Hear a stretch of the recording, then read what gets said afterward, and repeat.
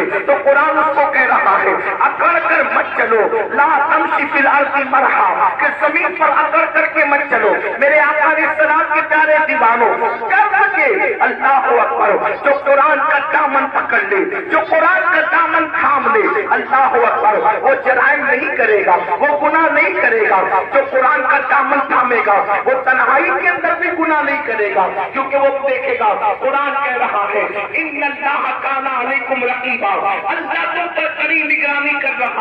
मगर अल्लाह अकबर कुरान मुकदस की छह हज़ार, छह सौ छसठ आयतें कमो इंसान को पुकार पुकार कर सातवे हयात दे रही है। ज़िंदगी गुजारने का तरीका दे रही है। ज़िंदगी गुजारने का सलीका दे रही है।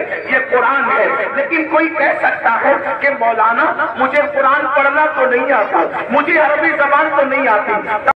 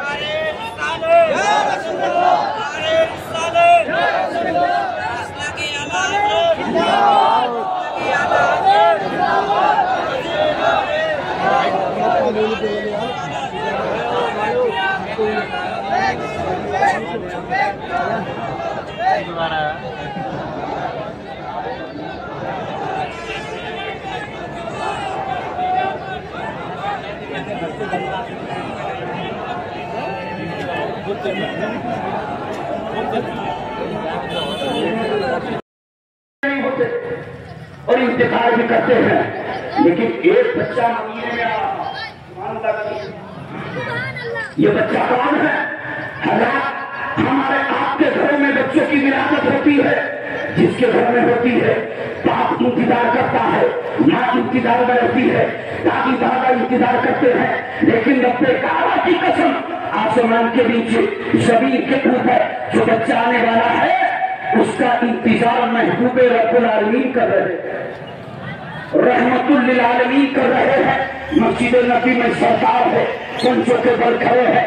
बार बार मस्जिद नबी की दीवार के बाहर देख रहे हैं। कोई आने वाला क्यों नहीं आ रहा है? आने वाला क्यों नहीं खबर दे रहा है? क्या चाल? थोड़ी ही देर में आपकी चची हज़रत उम्मे बदल आती है।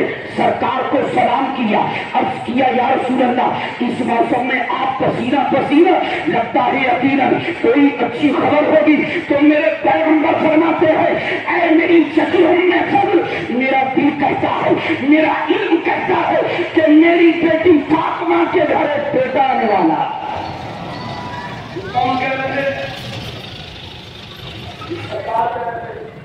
मुस्तफ़ा कह रहे हैं किनसे कह रहे हैं। हम मैं पैतालीस सुना रहा हूँ नाम हुसैन की। जल्दी से आप सुनिए किनसे कह रहे अपनी चची हज़रत उम्मे फजल से कह रहे हैं बच्चा आने वाला है, लेकिन तुम भी एक औरत हो। ऐ उम्मे फजल बड़ा जल्दी से जाओ और मेरी बेटी फातिमा के यहाँ जाकर जरा खबर ला करके दो। हज़रत उम्मे फजल अर्ज़ करती है, या रसूल अल्लाह मैं अभी खबर लेकर के आती हूँ। दौड़ी दौड़ी गई और जैसे ही हज़रत खातून जन्नत के घर में कदम रखती है तो क्या देखती है कि खातून जन्नत की गोद में एक छोटा सा बच्चा खेल रहा है। वाले को कह रहे हैं कि पीछे वाले बड़े खामोश हैं। और उनको जानना चाहिए कि जिनकी याद में जलसा है, उन्हीं का ज़िक्र हो रहा है। और उनके ज़िक्र पर सुबह अल्लाह नहीं चाहिए तो कब कहेंगे? इसलिए पीछे वाले भी मिलकर के बोलिए सुबह अल्लाह ये दस्तूर है, यहाँ तो कहने की ज़रूरत भी नहीं होना चाहिए।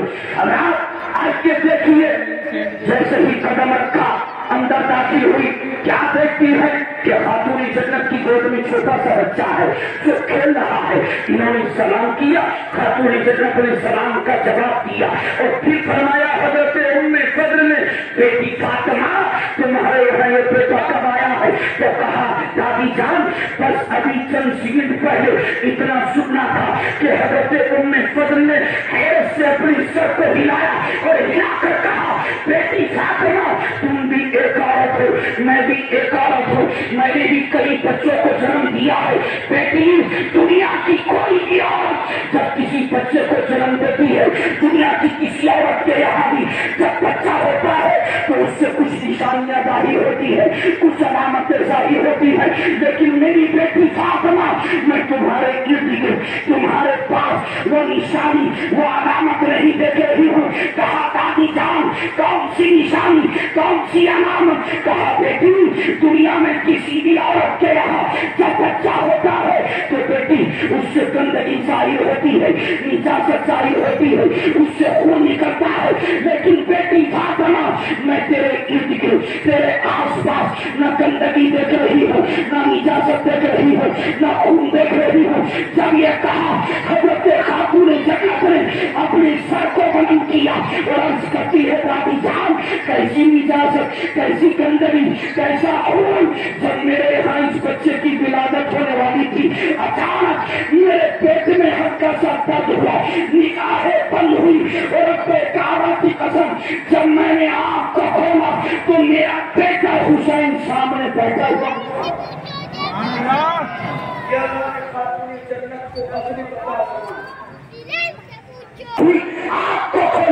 मेरा बेटा हुसैन ज़मीन पर बैठा हुआ था मैंने उठाया और गोद में रख लिया खुदा की कसम जब इतना सुना हज़रत उम्मे फजल दौड़ी दौड़ी बारगाह रसूल में आई अर्ज़ किया या रसूल अल्लाह आपकी बेटी फातिमा ने औरतों के खिलाफ बगावत का अलम बदल कर दिया है। औरत का, औरत के खिलाफ उन्होंने बगावत के अलम को बदल कर रखा है। कहा, मेरी सची उम्मे फजल क्या बात है? कहा, या रसूल अल्लाह आपका फरमान है कि जब किसी भी औरत के यहाँ कोई बच्चा पैदा होगा तो उससे कुछ निशानतें कुछ अलामतें जारी होंगी।